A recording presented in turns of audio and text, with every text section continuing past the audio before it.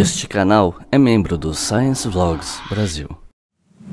Esse vídeo é o recorte de uma live realizada lá no site Roxinho. Então, se você gostou, me segue lá também. Eu não posso falar onde é, mas você consegue descobrir. Um estudo mostrou que a terceira dose da vacinação pode ampliar até 10 vezes a eficácia da vacina, diz a Pfizer. Interessante. Uh, o dado é a partir de um estudo sobre a possibilidade de uma dose de reforço que teria aplicação seis meses depois da segunda dose. Uh, de acordo com a farmacêutica, a vacinação em Israel, que foi realizada em massa na população, comprovou que a eficácia, a eficácia de proteção do imunizante começa a cair seis meses depois do esquema vacinal completo. Tá, então basicamente a Pfizer está observando que depois de seis meses começa a perder um pouco essa capacidade de proteger o indivíduo contra o desenvolvimento de sintomas da, da, da doença, né, da, da Covid-19. O que levou eles a acreditar que talvez uma terceira dose de reforço venha a ser necessária. Uh, eles vão publicar dados mais definitivos em breve para poder submeter ao FDA essa, essa autorização para aplicar uma dose de reforço, uma terceira dose, a partir do mês que vem nos Estados Unidos, imagino.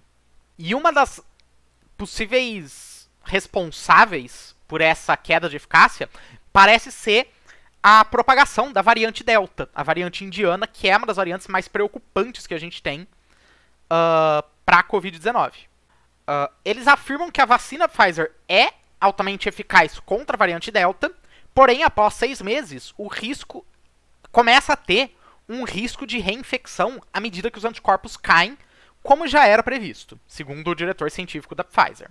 Uh, e ele também ressaltou que os dados de Israel e do Reino Unido sugerem que, mesmo com os níveis de anticorpo em queda, a vacina continua tendo uma eficácia de 95% contra os quadros graves da doença. Uh, ou seja, as pessoas estão começando a ter Covid-19 sintomática, mas continuam protegidas contra casos, casos mais graves e mortes, etc. O que é interessante e importante. O que nos leva a. Essa daqui, mas que o Globo não me deixou abrir que diz que os especialistas dizem ser desnecessário. Uh, devido à urgência. E eu só dando patrocínio pra HBO Max, mas tudo bem. Paga nós, HBO. O Luiz Gustavo de Almeida, que é do Instituto Questão de Ciência, que é um instituto fundado pela Natália Pasternak, etc., de comunicação científica. Meu Deus, quanta propaganda. Uh, o principal motivo que a gente pode vir a precisar de uma dose extra tem a ver justamente com as mutações que continuam acontecendo. Continuam surgindo novas variantes, etc. Uh, e a gente está observando que lugares que têm muitas pessoas infectadas pela variante tendem a apresentar uma necessidade. Uh, perdão, tendem a apresentar uma queda na, na eficácia da vacinação. Então se especula né, que, o, que esse reforço de uma terceira dose iria ajudar ainda mais nosso sistema imune a reconhecer essas variantes e combater o vírus. Não é a primeira vez que fala né, nessa possibilidade de a gente vir a usar uma terceira dose. É, eles estão dando como exemplo aqui que, por exemplo, a gente toma vacina da gripe todo ano. E isso é necessário, especialmente porque vão surgindo novas variantes do vírus que a vacina antiga não dá tanto conta assim. Então a gente vai atualizando. Então, não é de se estranhar que a gente venha a ter um problema similar com a com as vacinas da Covid-19 no futuro, né? Então aqui tá falando que precisa de mais pesquisa pra gente ter noção plena da, da, necessidade de se aplicar uma terceira dose, né? É, e aqui o, o especialista do, do IQC levanta uma possibilidade interessante, que é, pode ser que a gente aplique a terceira dose e não dê em nada. Ok, o resultado da Pfizer está indicando que não, que ajuda. Mas pode ser que a terceira dose de uma vacina qualquer não seja eficaz em aumentar ainda mais a, a proteção. E daí, se esse for o caso, não vai ter por que aplicar a terceira dose, tá ligado? Uh, e, isso é muito importante, enquanto essa resposta não chegar, ninguém deve tentar burlar o esquema de vacinação atual. Especialmente que a gente está num cenário em que muita gente ainda não recebeu nem a primeira dose da vacina. E uma coisa que as pessoas precisam entender é que a proteção do outro é tão importante quanto a sua. E eu não digo isso só de um ponto de vista mais de bom samaritano, não. Eu digo inclusive para proteger você. Porque se só você está protegido e todo mundo ao seu redor não tá, o vírus continua circulando novas variantes continuam surgindo e eventualmente alguma delas vai superar a sua vacina. Ao passo que se você está um pouquinho menos protegido, mas as pessoas ao seu redor estão também, você reduz essa transmissão, você reduz o surgimento de novas variantes, você reduz a capacidade do vírus chegar até você. Então, assim, vacinação, ela é eficaz no coletivo. Mizuno perguntou, mas o problema é que essas infecções em vacinados aumentam a chance de uma variante imune à vacina?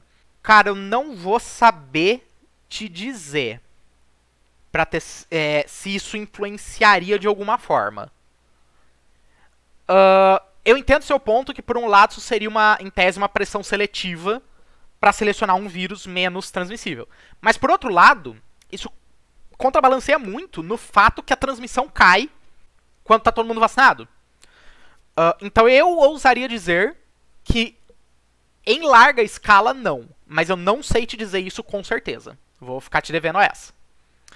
A Isa perguntou: já tem como a gente saber se a gente vai precisar de um reforço anual para Covid? Não, não tem.